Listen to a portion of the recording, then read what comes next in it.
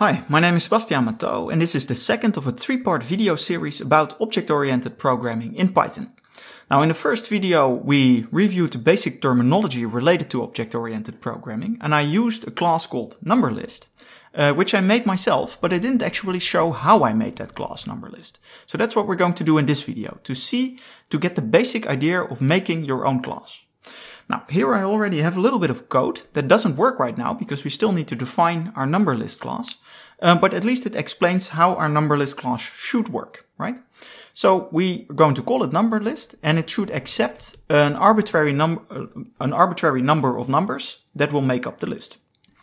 Um, it doesn't need to be able to do much, but it needs to have a method, right? So a function that is part of the object called mean that gives the mean value of all the numbers and a property, so a value that's part of the object, uh, that is called length and it gives our number of numbers in the list, so in this case 5. Um, so how do we go about creating this class? We start by simply saying class and then giving the name of the class, number list, up, and then a colon. So it's kind of like making a defining a function.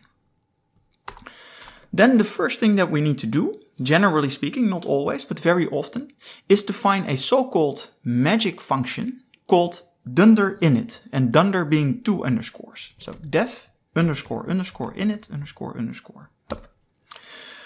What does this mean? Well, this is a function that is called automatically when the uh, when an instance of the class is created. So here we are creating an object, like an instance of the class number list, this will automatically call this magic init function. Sometimes people call it a constructor, although uh, purists might kind of object to calling this a constructor, but at least it's the first function that is called. Um, that function has a few arguments. There's always one argument that's called self. The first argument, self, refers to the object itself. In other words, the self will, will correspond to not to the class number list, but to the object that is currently being initialized. And that will call, be called self. Um, that we don't need to, that argument is always passed implicitly, right? So it's part of the method definition, but it, you don't see it when you actually call the, the functions. Then we can add more arguments. And those are the arguments that we actually pass when we create an object. In this case, what we do, we want to define our, our uh, object such, our class such, that we can pass an arbitrary number of numbers. And how can we do that? Well, we can say star numbers. What does this mean? Well, we can pass any number of arguments to this uh, and then they will all be packed into a list and that list will be called numbers. That's what this syntax means. It's not really related to object-oriented programming, but it's a nice tip anyway to begin with. Right? So this num here, if we do this, the 1, 1, 2, 3, and 5 will become a list, and that will be available as the numbers argument here in our uh, init function. What are we going to do? Well, we're not really going to do much. We're, oh, sorry. We're just going to say self dot underscore data is numbers. Um, and what are we doing here? Well, self refers to the object itself that we're being, that we're creating an instance of. Then the underscore data will be a property or a field in that object. And the underscore indicates that um, it's just a naming convention saying that this is basically for internal use. External users of our number list class are not supposed to touch the, the underscore data. They can if they want, but it's kind of impolite to do that. But it's for internal use. And we use that, that uh, property or that field to store the numbers uh, list that is passed onto it. That's it. That's the only initialization that we need to do in this case. Then we also need to define our mean method. How do we do that? Well, okay. We simply say def mean. So it's kind of like uh, defining a normal function. But again, it implicitly receives this self argument, right? Corresponding to the object itself. Um, and what does it return? Well, it needs to return up the mean, statistics.mean, self.data, right? So we store the numbers here, and then we're going to get the mean of them.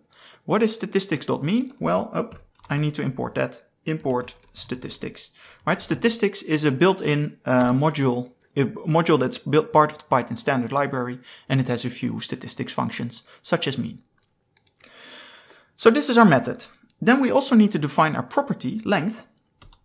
Um, we can do that in a few ways. Um, what we could do is the cheapest way would be simply to say here self.length uh, is len numbers. Um, this would work, right? So we create a field or a property. We actually don't use this underscore because now we're supposed to to expose this property to the external users right here, fibo.length. So it's not only for internal use. And we assign the number, the length of the numbers list to it. That would be fine. That would work actually. Let me run it just so that you can see that this will actually work. Up, run. You see it prints out mean 2.4 comes from this and length 5 uh, uh, comes from this, right? So that works. A slightly fancier way to make properties um, is to do the following. To actually make a method um, that calculates the mean, that calculates the length, and then we turn that method into a property. So it goes like this. Length up, return length self dot data. Now you see the problem here if I try to run this, right? Up, I get an error. Oh wait, it says length is the bound method number list, blah, blah, blah, blah, blah. So what happens here is that basically fibo.length is not a value, but it corresponds to this method. What we can do is to say, this is a little bit advanced, but because it's very convenient, I will tell you anyway. I can use the add property decorator, put it before the length uh, uh, method. And what this will do is will, as soon as you ask for the length, so you say object fibo.length, it will automatically call this uh, method and return the return value. So it will behave in exactly the same way as what I did before, say self.length equals the length of the numbers. Um, but it is slightly more fancy and it has the advantage of being able to have values that seem like they are sort of fixed values properties of the class, but they're actually calculated on the fly when you request them. I hope that makes some kind of sense. And I actually have another video uh, at the end of the this this playlist. I will put it at the end of the playlist uh, that goes into more depth uh, when it comes to properties. All right, but let's uh, run this. And now you see how this works, right? 2.45. So what, what have we seen here? Well, we have an initialization function that is implicitly called uh, when we create an object. Um, We've seen that the self argument is always implicitly passed to all the, all the methods that are part of, of, of, of an object. Um, and we've seen that we can implement methods like this, mean, and that we can implement properties. And using the add property decorator has the effect that basically the, the, the length method is implicitly called uh, just when we refer to its name, so to say. All right. Um, in the next video, we're going to take a look at how we can uh, implement a class that actually inherits functionality from other classes. And that, that goes a little bit already into the real core of object-oriented programming. All right, thank you very much for watching.